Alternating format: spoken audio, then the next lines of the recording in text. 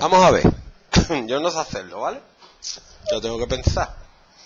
Dice, a una pirámide recta y cuadrada, vamos a dibujar una pirámide recta y cuadrada. A ver, una pirámide cuadrada tiene que ser picúa, porque si no, no es una pirámide. Lo que se refiere es que tiene la base cuadrada.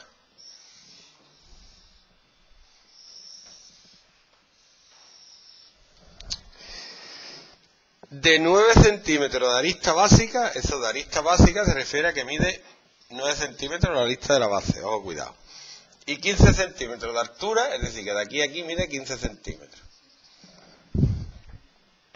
Se le da un corte paralelo a la base, lo cortamos así, como si tuviera una espada láser.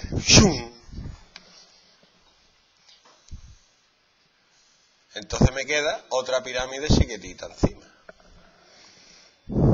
a una altura de 5 centímetros. O sea que de aquí, del centro del cuadrado este por donde la he cortado, al centro de abajo hay 5 centímetros. Y te pregunta, ¿cuánto mide el lado de la sección obtenida? ¿Cómo? O sea que ¿cuánto mide este coso? De aquí a aquí. ¿Qué hago, por Dios? Ah, bueno, de aquí a aquí va a medir lo mismo que de aquí a aquí, ¿no? Entonces yo me cojo este triángulo grande. Fíjate que para, partirla por aquí, para saber lo que mide aquí, hay que partirla por aquí también. ¿Qué coste? Me cojo el triángulo grande y digamos, ve. Del triángulo grande, yo sé que esto mide 9 y esto mide 15. ¿Vale?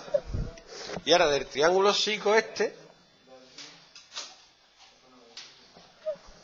que sería cortar esto por aquí. Esto mide 10,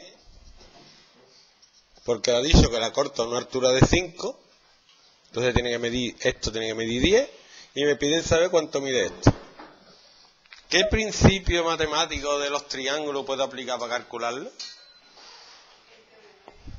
No. No, el otro. Ese. Bien. Teorema de Tales. Teorema de Tales dice que en un dos triángulos que son semejantes, todos son semejantes, porque este lo puedo meter dentro de este. Este ángulo es igual que este. Si yo divido esto entre esto, la altura esta entre la altura esta, porque son semejantes, me da lo mismo que si divido este lado entre este lado, porque son semejantes. Y de ahí saco la X. ¿Sabes despejar la X de aquí? A simple vista, ¿no? ¿Cuánto es? Bien. Muy bien. Primera parte. El resto ya es un poco chorro. Tienen que calcular las áreas, los volúmenes.